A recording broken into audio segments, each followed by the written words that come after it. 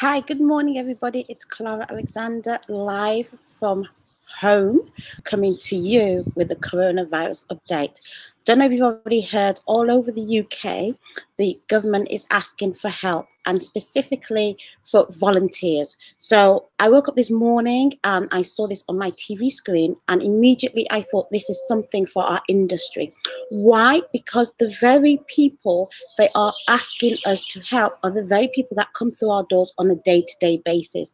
Now, there's a website that is set up, which is goodsams.org good goodsamsapp.org and there's got three choices there but there's one particular choice that actually um that made my eyes go like wow this is definitely for our industry. And that's the choice where you can actually talk to those vulnerable people and help them through the journey because this is something we do every single day. We are there in the front line speaking to our clients building up their confidence, making them feel and look beautiful and wonderful. And now we have an opportunity to do this from the comfort of your own home and help impact somebody else's world. And I say on to you that if you're listening to this, hair, if you're in the hair and beauty industry and you're listening to this, this is a awesome moment for you to actually step up and help. We are about stepping out. We are about making a difference. We are about making a difference, not just in to, to ourselves, but to our world and the world around us. And this is a prime opportunity for us to do so. So if you haven't already signed up, they were looking for over 200,000 people. And I think they are, you know, the, the, the list is rapidly going up. But I think this is a prime opportunity for our industry that we really don't want to miss.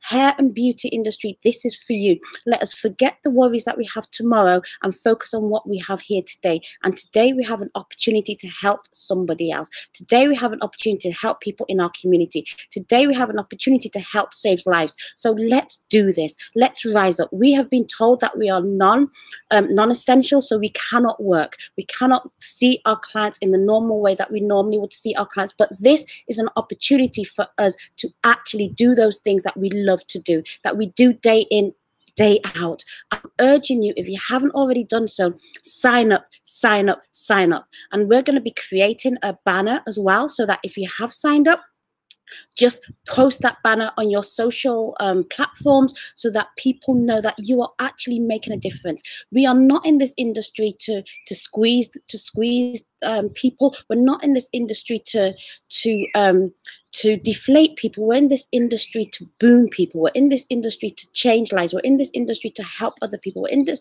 in this industry to to make a difference in somebody else's world. And we now have an awesome opportunity to do that.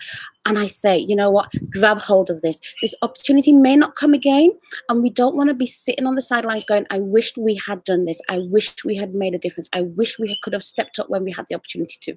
You know, not everybody is going to be in this situation that we are in. We have got a prime opportunity because we are doing things that we do day in, day out.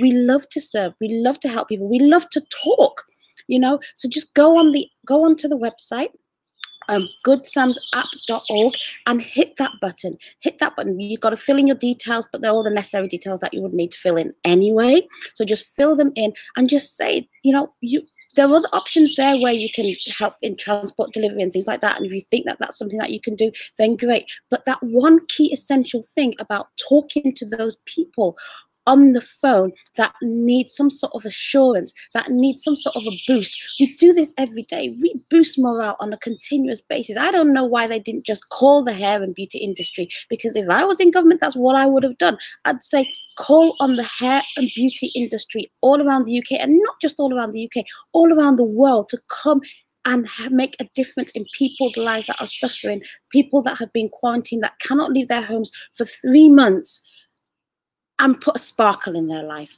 I've signed up and I hope to see you online that you have also signed up as well. Take care, everybody.